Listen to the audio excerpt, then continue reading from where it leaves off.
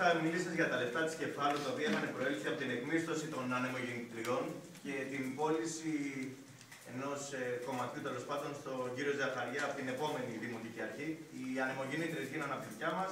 Η, η, η πώληση μάλλον έγινε από τη δημοτική αρχή του Στέργου. Μαζευτήκαν ένα πολύ σημαντικό ποσό. Είδα το θέμα που έδεσε, το οποίο είναι πάρα πολύ σημαντικό. Η απάντηση ήταν άλλα λόγια να αγαπιόμαστε και μιλούσε για οφειλές των πρώην Δήμων και για... πρέπει να ξεχωρίσει να καταλάβει ο κόσμος ότι είτε είναι λιμονικό ταμείο είτε είναι Δήμος, όταν ακούω εγώ ταμείο, ότι έχει μεγάλο ταμείο, 3-4, με πιάνει ανησυχία. Γιατί υποδηλώνει ότι δεν γίνεται τίποτα.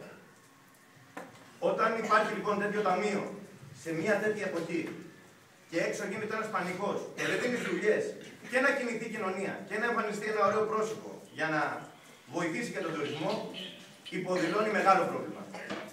Πρέπει πάση θυσία, με οποιοδήποτε μέσο, είναι υποχρέωση να ενημερωθούμε πού βρίσκονται αυτά τα χρήματα, αν έχουν διατεθεί για άλλο σκοπό, πέραν των άλλων είναι και παράνομο. Για να ξε... Δεν μιλάμε ότι τα έχουν καταχρεστεί άνθρωποι, αλλά για να καταλάβουν και αυτοί που βρίσκονται εδώ μέσα. Εάν τα λεφτά που προέρχονται από την κέφαλο χρησιμοποιήθηκαν για να γίνει ένα γυμναστήριο, ξέρω εγώ, στην Καβράμενα, δεν θα σα πω σε άλλο Δήμο, θα σα πω στον πρώην Δήμο Ερακλειδών. Είναι παράνομο. Έπρεπε να πέσουν στην Κέφαλο. Στην Κέφαλο τα τρία χρόνια, τρισήμιση, θα ήθελα πάρα πολύ να μας ενημερώσεις, αν έχεις πρόχειρα Γιώργο, τι χρήματα έχουν πέσει για έργα.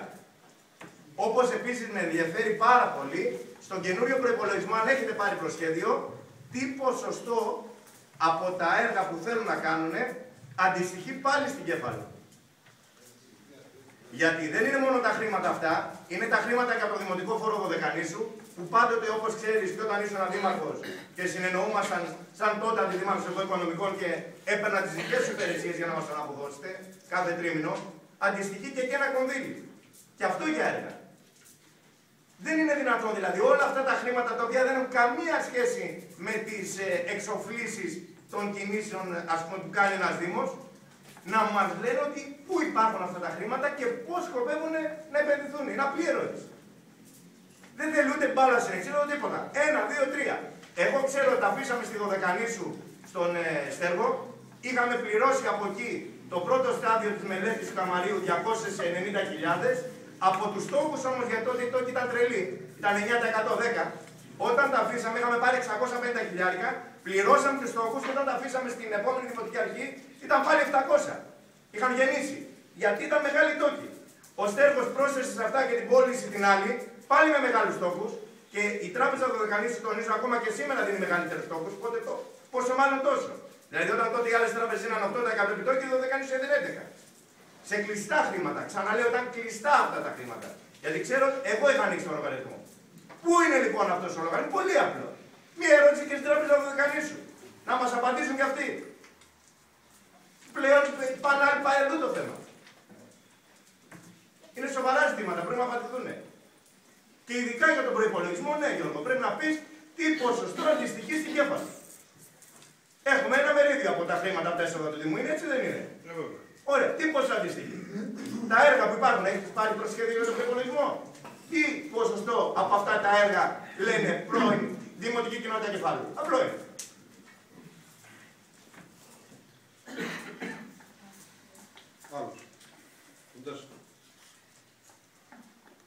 Εγώ θα θέσω, επειδή ασχολούμαι με τον τουρισμό περισσότερο, θέλω να μας πείτε τι συμβαίνει τελικά με τη Ryanair, τι έχει γίνει, ε, πώς θα δουλέψει το θέμα την επόμενη σεζόν, γιατί άμα λέμε ότι θέλουμε να βγάλουμε κόσμο από τα ξενοδοχεία, γιατί ξέρουμε ότι είναι πολύ δύσκολο να βγει ο κόσμος που πάει στα all inclusive, δεν βγαίνει έξω.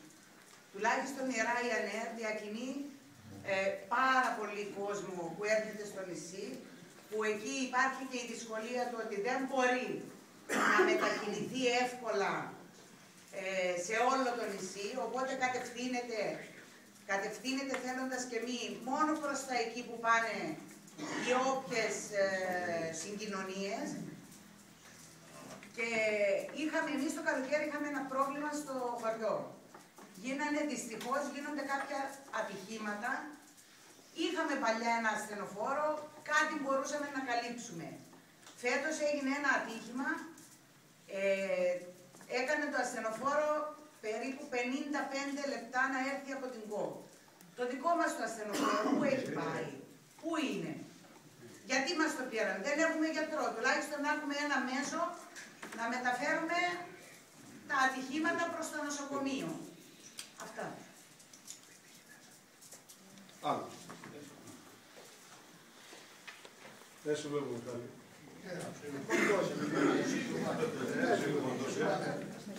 Έχω την απορία κύριε Κερτσί. Πήγανε, μαζέψαν τις πέτρες από την πίγλα, τις στολίσαν έξω από το μαγαζί τους. Τώρα ήρθε πρόστιμο γι' αυτό. Γιατί πρέπει να το πληρώσουμε εμείς; Πήγαν και χαλάσαν το κερκί, ξέρω εγώ τι χαλάσανε. Τους ήρθε ένα κοντήρι να πληρώσουν 110 χιλιάρια. Διαβάζω στην εφημερίδα ότι τα πληρώσει ο Δήμος. Γιατί; Εμείς τι κάναμε σαν αντιπολίτευση. Γιατί πρέπει να τα πληρώσουμε εμείς, δηλαδή; Τι αυτό.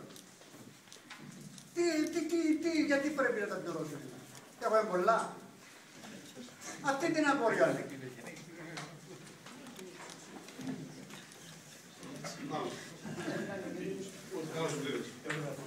Εγώ θέλω να, να πω ότι ο μεγαλύτερος χώρος που έγινε, έγινε γύρω από το νερό. Σε αυτό το θέμα. Το νερό είναι τελικά πόσιμο ή είναι, δεν είναι πόσιμο. Εγώ αυτή την απορία έχω και θέλω, ζητώ μια εξήγηση. Όλοι το θέλουμε αυτό. Γι' αυτό Βασικό. Και ειδικά με τους λογαριασμούς που πληρώνω. Και ο λογαριασμό, σαν ποιότητα του νερού. είναι το αρσενικό πράγμα. Είναι, δε. Και δεν απαντάει κανείς αν μπορούμε να το χρησιμοποιήσουμε. Δηλαδή, να μας Άλλος; Δεν βλέπω να έχει πολλές απορίες. Ε, είναι βασικότερο. Το νερό, η υγεία, σπουδαιότερα είναι η υγεία και το νερό. δεν έχουμε γιατρό, δεν έχουμε ασθενοφόρο και το θέμα του νερού αν μπορούμε να το χρησιμοποιήσουμε έστω στη μαγειρική. Yeah.